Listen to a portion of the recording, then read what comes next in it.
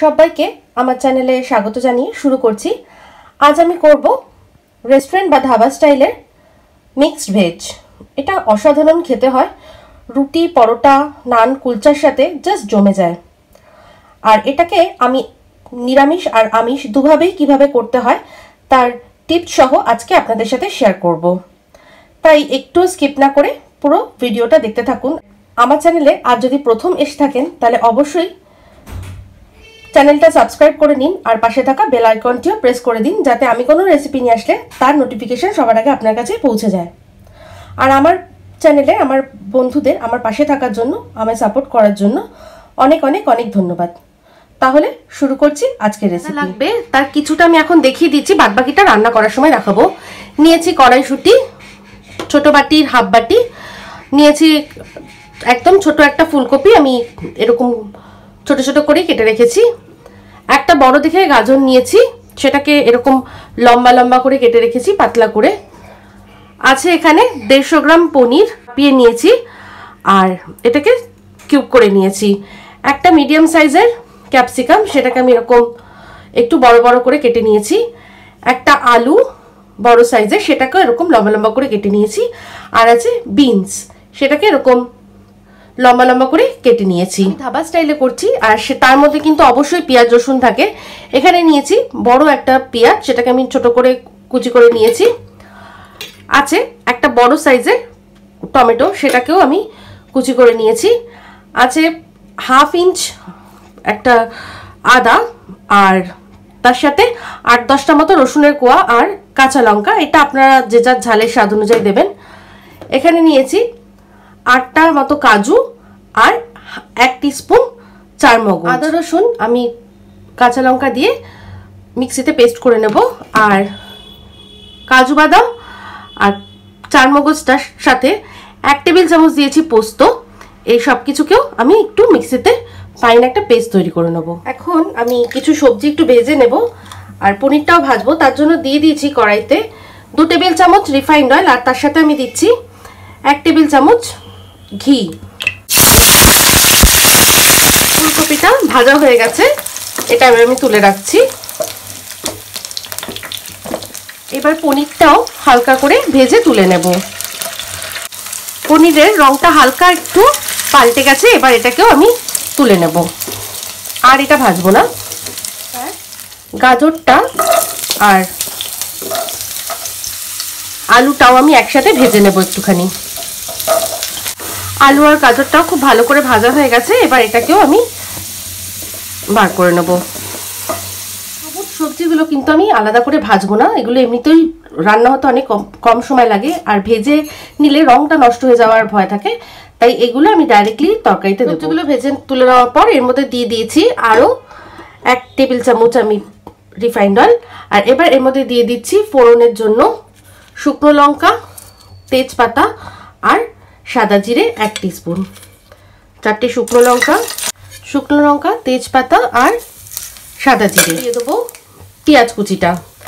যারা মনে করছেন যে এটা নিরামিষ করবেন তারা এই সময়ই একেবারে এই কাজু বাদাম আর কাজু বাদাম চারমগজ আর যে পোস্ত দিয়ে পেস্টটা করেছিলাম সেটার সাথেই একেবারে আদা কাঁচা লঙ্কা একসাথে বেটে নিয়ে এই পেস্টটা একটু বেশি করে করে এটা ফোড়নের পরে দিয়ে দেবেন। আর তারপর ভাজা সবজিগুলো দিয়ে দিয়ে নাড়িয়ে মিশিয়ে এটা করে নিতে পারেন। রেস্টুরেন্ট বা ধাবাতে অবশ্যই কিন্তু পেঁয়াজ রসুন দেওয়া হয়। তাই আমি যেহেতু ধাবা রেস্টুরেন্ট স্টাইলে করছি, তাই আমি আজকে পেঁয়াজ রসুন দিয়েই দেখাচ্ছি। কিন্তু অনায়াসে এটা কীভাবে সম্পূর্ণ নিরামিষ করবেন, সেটা আমি বলে দিলাম। পেঁয়াজটা এবার একটুখানি ভালো করে ভাজবো। পেঁয়াজটা ভাজা হয়ে গেছে, এবার এর মধ্যে দিয়ে দেবো টমেটোটা। দিয়ে দিচ্ছি সামান্য নুন যাতে টমেটোটা সিদ্ধ হতে একটু কম সময় লাগে। আসছে। একটু চাপা দিয়ে রাখব। টমেটোটা দিয়ে নুন দেওয়ার পর আমি দু মিনিট এটা চাপা দিয়ে রেখেছিলাম। দেখুন, টমেটোটা একদম নরম হয়ে এসছে। দিয়ে দিচ্ছি আদা, রসুন আর কাঁচা লঙ্কার পেস্টটা। এটাকেও একটু ভাজবো দু মিনিট। আদা, রসুন, কাঁচা লঙ্কা পেস্টটা দেওয়ার পর এর মধ্যে এবার দিয়ে দেবো একে একে কিছু শুকনো মশলা। সবার আগে দিচ্ছি হাফ টি স্পুন হলুদ গুঁড়ো। দেব এক spoon Kashmiri red chilli powder. দেব এক স্পুন জিরে গুঁড়ো। আর দেব এক টেবিল স্পুন ধনে গুঁড়ো। খুব ভালো করে এগুলো একটু মিশিয়ে নেব, আর এটা দু মিনিট একটু ভাজবো। মশলাগুলো দিয়ে খুব ভালো করে মিশিয়ে নিয়েছি, এবার এর মধ্যে দিয়ে দেবো অল্প একটু জল, যাতে এই মশলাগুলো পুড়ে না যায়। আর এটাকে এবার ততক্ষণ কষাবো, যতক্ষণ না মশলা থেকে তেলটা আলাদা হয়ে যাচ্ছে। হাই ফ্লেমে তিন চার মিনিট এটা আমি খুব ভালো করে কষাচ্ছি। দেখুন, তেল প্রায় কিন্তু বেরিয়ে এসছে। এবার, আর এটা কষানোর সময় যখন প্রয়োজন পড়েছে, তার মধ্যে আমি অল্প অল্প জলও দিয়েছি। তেল কিন্তু প্রায় বেরিয়ে এসছে, এবার এর মধ্যে দিয়ে দেবো পোস্ত, কাজু বাদাম আর চারমাগজের পেস্টটা। দিয়ে এটাকেও আবার খুব ভালো করে ভাজবো, যতক্ষণ না তেলটা ছেড়ে আসছে। হাই ফ্লেমে চার পাঁচ মিনিট এটা খুব ভালো করে আমি ভেজেছি। দেখুন, তেল আবার ছেড়ে গেছে। এবার এই সময় আমি দিয়ে দেবো ভেজে রাখা সবজিগুলো। পনির বাদে সব কিছুই আমি এখন দিয়ে দেবো। ফুলকপি, আলু আর গাজর দিয়ে দিয়েছি। এবার দিয়ে দিচ্ছি বাদবাকি সবজিগুলো, কড়াইশুটি, ক্যাপসিকাম আর বিনস। খুব ভালো করে এবার এটা মিশিয়ে নেব। এবার দিয়ে দিচ্ছি স্বাদ অনুযায়ী নুন। এর আগে টমেটো ভাজার সময় নুন দেওয়া হয়েছিল। একটু সেটা মাথায় রেখে নুনটা দিতে হবে কারণ এইগুলো কিন্তু মোটামুটি রুটি পরোটা এই জাতীয় জিনিসের সাথেই সার্ভ করা হয় তাই জন্য। তো এটাকে আবার খুব ভালো করে মিশিয়ে নেব। দিচ্ছি কয়েকটা গোটা কাঁচা লঙ্কা কাপ জল গরম করে রেখেছি। আর এবার খুব ভালো করে এগুলো মিশিয়ে এটা আমি ফুটতে দেব। ফুটে উঠেছে, এবার দিয়ে দেবো, ভেজে রাখা পনিরগুলো।